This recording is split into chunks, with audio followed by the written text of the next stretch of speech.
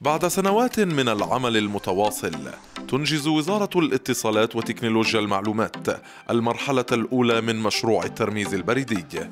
المشروع الذي يرسخ الهوية الفلسطينية الرقمية. عملت عليه الوزارة منذ سنوات.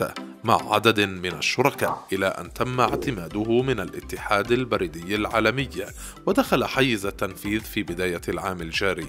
الترميز البريدي هو عبارة عن رمز يتكون من مجموعة من الحروف والأرقام يتم استخدامه كجزء من العنوان البريدي للمساعدة على تحديد عنوان مستلم الرسالة حيث تشير تلك الرموز إلى منطقة جغرافية محددة أو منشآت محددة يمكن معرفتها من خلال رمز رمزها البريدي.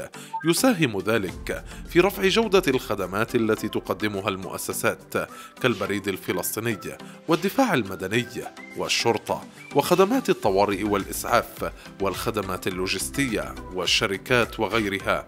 من القطاعات. لتقدم هذه القطاعات خدماتها للجماهير من خلال موقعهم الجغرافي الذي يعتمد على الرمز البريدي. بعد دخول المشروع حيز التنفيذ أصبح بإمكانك الآن أن تتعرف على رمزك البريدي الخاص. توجه إلى الموقع الإلكتروني التالي. في أيقونة الموقع بإمكانك الوصول إلى رمزك البريدي الخاص حسب موقعك الجغرافي الذي تتواجد فيه من خلال الضغط على المبنى الخاص بك. ليظهر لك رمزك البريدي الذي يتكون من سبعة أرقام يسبقها حرف بي الذي يشير إلى دولة فلسطين. وفي الخانة الثالثة على يمين الشاشة تستطيع إدخال اسم محافظتك أو مدينتك أو بلدتك أو تجمعك السكاني. إمكانك الاسترشاد بعدها من خلال خرائط دقيقة تغطي محافظات الوطن على منزلك أو مكان عملك. أما إذا كان المبنى الخاص فيك قيد الإنشاء وغير منجز فيه الرمز البريدي يمكنك الضغط والحصول على الرمز البريدي للمنطقة.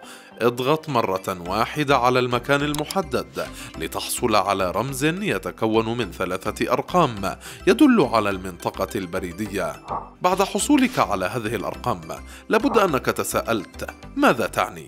فحسب وزارة الاتصالات وتكنولوجيا المعلومات الفلسطينية فإنها تعني الآتي.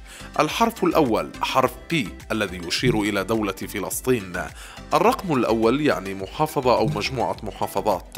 الرقم الثاني يشير إلى القطاع البريدي داخل المحافظة. الرقم الثالث يشير إلى المنطقة البريدية الصغرى فيما تحمل الأرقام الأربعة الباقية. نقطة التسليم النهائية بما يشير إلى رقم المبنى. بإمكانك الآن أن تحصل على رمزك البريدي حسب ما تم التوضيح وبإمكانك إرفاق هذا الرقم بمراسلاتك الداخلية وحتى الخارجية. الترميز البريدي مشروع وطني يرسخ الهوية الفلسطينية ويساهم في إثبات الحق الشرعي.